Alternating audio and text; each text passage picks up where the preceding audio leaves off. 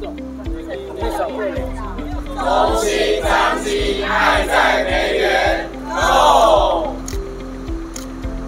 嗨。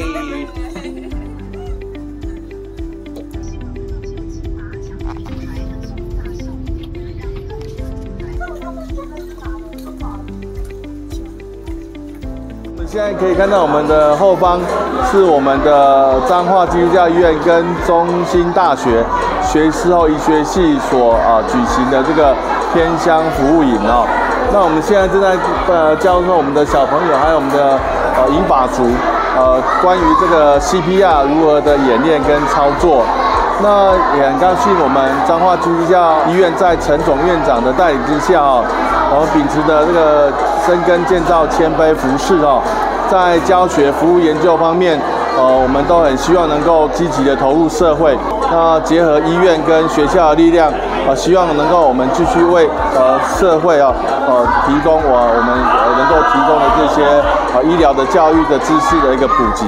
那我们这一次主要的偏向医疗主轴是 CPR 的教学跟 AED 的使用。那期待这一次跟当地居民的合作底下，来帮忙他们提升他们 CPR 的一个能力。呃，在他们呃遇到一个紧急状况的时候，能够有第一时间最好的处理。呃，我觉得很好的帮助是主要因为我们这边离啊都市比较有一段距离，所以每一次当是呃有急需的时候，有需要的时候会。可能时间上会被拖延，所以在今天这样子的一个服务，有基本的 CPR 的一个知识教导，还有基基实际的操作，我觉得是可以让我们至少在送医的过程中，我们可以第一个时间去做解决。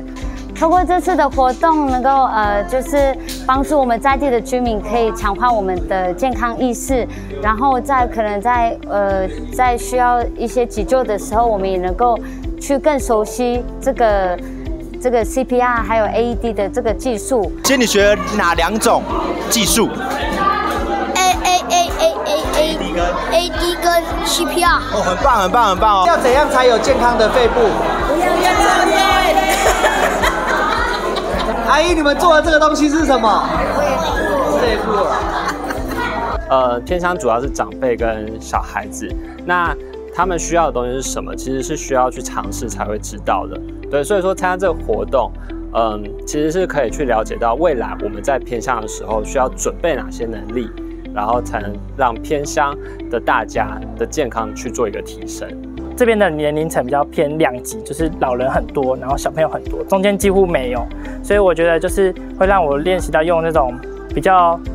接近他们的。的讲法或是一些活动，可能用一些有奖征答，或是让他们跟着念啊，跟着做这样的动作，去引起他们的兴趣，让他们会想要更专注在我想要传达的东西里面。非常感谢彰化基督教医院，那长期经营在这里的这个呃跟居民的感情，让我们呃有这个机会可以呃直接来到教会。那也更谢谢这个呃张基总院长、陈院长的呃从一刚开始跟这个地区有这个关系的建立，希望带给呃原乡居民有这样一个呃提升医疗不不足的机会。那这个也是中心大学希望未来能够在大学社会责任上面尽更多的呃义务，或是呃希望能够把这个呃尽力弥平。这个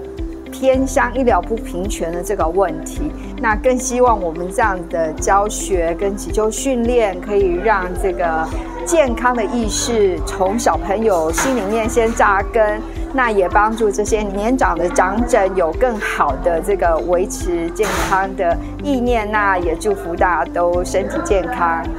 很高兴啦，你们学那个中心大学学术，还有张军的那个同学，他们来给我们教这个教这个那个急救的。我今天学到。还有熊大依旧